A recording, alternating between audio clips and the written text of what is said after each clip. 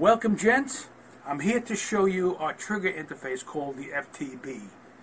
Now the FTB is a power device and uh, it has the automatic uh, shut off after four hours so that it complies to Euro standards. It has a little um, gain control and it has six quarter inch inputs.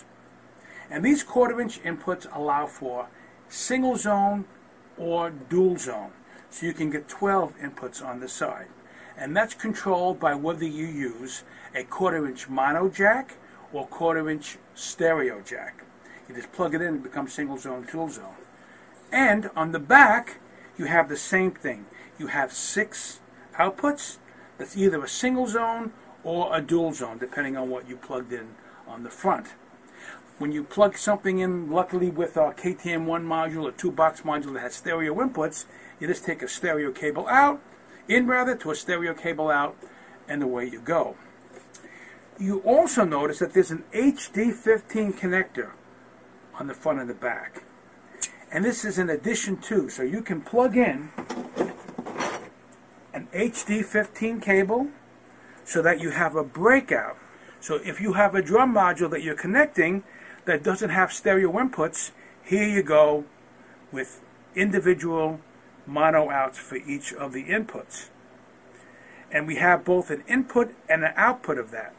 Because if you wanted to plug our hybrid kit, which is essentially our drumKAT without the brains, in the back there's a connector, and here's that same cable. One cable connects to here, the other cable connects into the FTB, and you can have another cable that goes out of the FTB directly into the module. And that also applies for a product like a jamKAT. So here you're seeing 12 uh, pads, and here's the breakout. In this case, they're all stereo, and they go into the, the six inputs for the 12 triggers. So we're going to demonstrate now um, how it works with a two-zone, a single zone, in heads, and on heads. Okay, so now you're going to see this is our two-zone on head. One quarter inch cable plugs in, and one quarter inch stereo cable plugs out and goes directly into the KTM1, and then plugged into the snare drum so we get snare drum and rim. Now what's really important is to understand the settings on this two box because you have to make sure that it's going to see a two zone. So you set the pad type in this example to pad PP. And I found that a gain of 9 with a threshold of 48 is perfect. And I'm using a negative curve 2 so we can get the widest dynamic range out of it. On the rim, I lowered the threshold a little bit because I don't want any interaction between the uh, head and the snare. So that takes care of that. So the first thing I want to do is look at a MIDI scope and just check out the incredible wide dynamic range coming from this pad.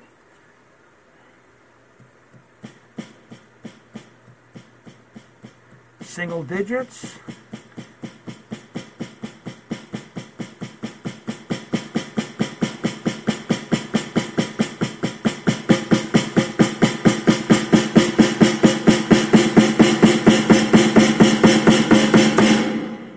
The entire MIDI dynamic range comes from playing that pad.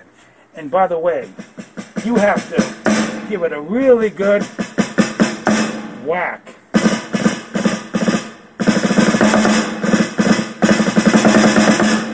So here is the rim. And you notice on a two zone there is absolutely no interaction between the two zones. That's what makes the FSR so incredible that you could have multi-zones on one surface without any interaction of any kind. So this is the two-zone on-head.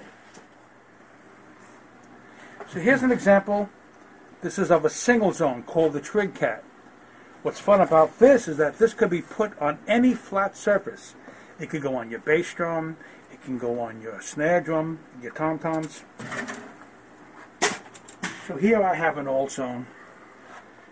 It's a single zone, so I'm using a mono cable going in, mono cable going out. And here's the fun thing. I'm going to play around the edges. Look at the MIDI scope.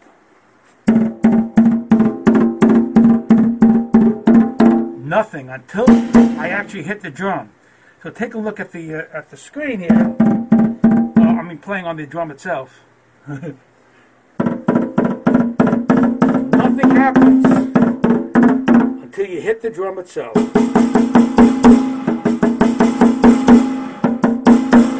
And by the way, you can put a, uh, a pad on top of here so that it's um, it's like a rubber surface, and that's particularly useful when you want to use it for your um, for your bass drum. Okay, on to the in head. Okay, so now I'm going to show you the hybrid head, which is an acoustic hybrid drum, and it's a single zone. So we have a quarter inch cable plugged in, quarter inch cable plugged in here. All the settings are the same on the drum. Now, I'm going to do this so you can see what I'm doing. Take a look at the MIDI scope.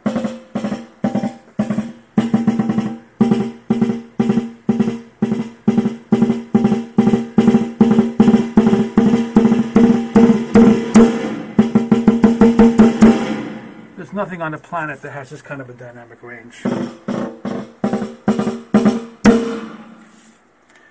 Okay, so in this example here, we have a drum that we're, we were working with with DW.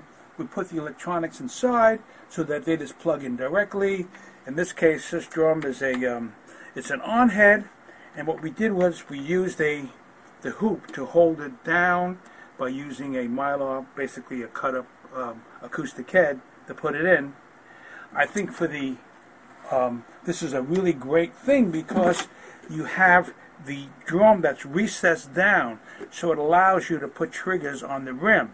So we can have a two zone here and plus we can have the rim and it looks like an acoustic drum. Pretty cool thing.